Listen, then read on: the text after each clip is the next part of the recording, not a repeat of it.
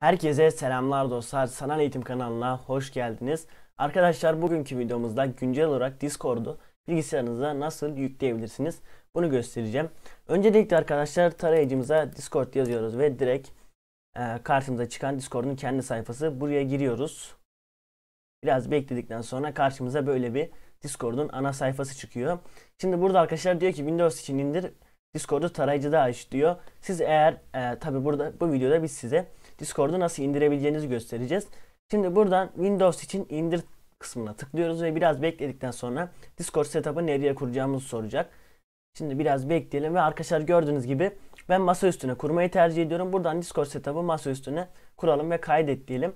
Şimdi tarayıcıyla işimiz bitti. Ee, Discord setup şu an tabi kuruluyor arkadaşlar. Biraz bekledikten sonra karşımıza Discord setup çıkacak. Sizde de zaten indirdiğinde otomatik Discord setup karşımıza çıkacak. Şu an zaten e, Discord setup indiği için gördüğünüz gibi 65,6 MB çok fazla da bir şey değil. Discord setup kuruduktan sonra kolay bir şekilde kullanabileceksiniz. Şimdi arkadaşlar kurulsun ve karşımıza e, simgesi çıksın. Gördüğünüz gibi Discord setup kuruldu arkadaşlar. Zaten e, kolay ve öz bir program. Yani kısa bir program. 65 MB'lık bir e, yer kaplıyor. Şimdi buraya tıkladığımız zaman çalıştır diyeceğiz ve kendi Discord'u kuracak zaten. Bizim pek bir şey yapmamıza gerek yok. Otomatik olarak kuracak. Bu arada arkadaşlar Discord'da e, biraz sonra biz de o aynı hatayı yaşayabiliriz.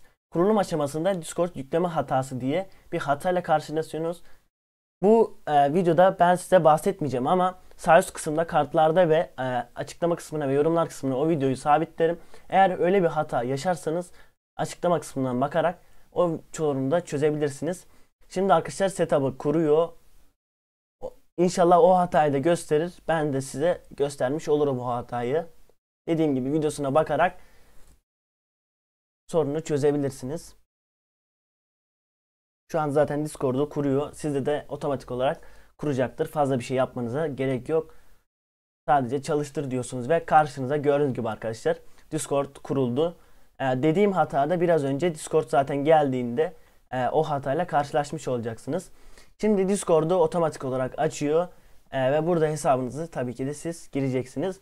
Videomuz buraya kadardı arkadaşlar. Discord'un sizlere nasıl kolay bir şekilde kurulacağını güncel olarak gösterdim. Şöyle Discord'u alt tarafa alalım. Şöyle kapatayım Discord'u. Discord'da işimiz yok.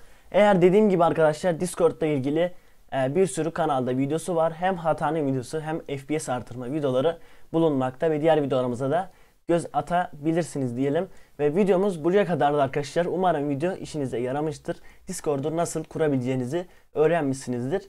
2 saniyenizi ayırıp bizlere destek olursanız da çok mutlu oluruz. Bir başka videoda görüşmek üzere arkadaşlar. Bizleri desteklemeyi unutmayın. Kendinize iyi bakın. Hoşçakalın.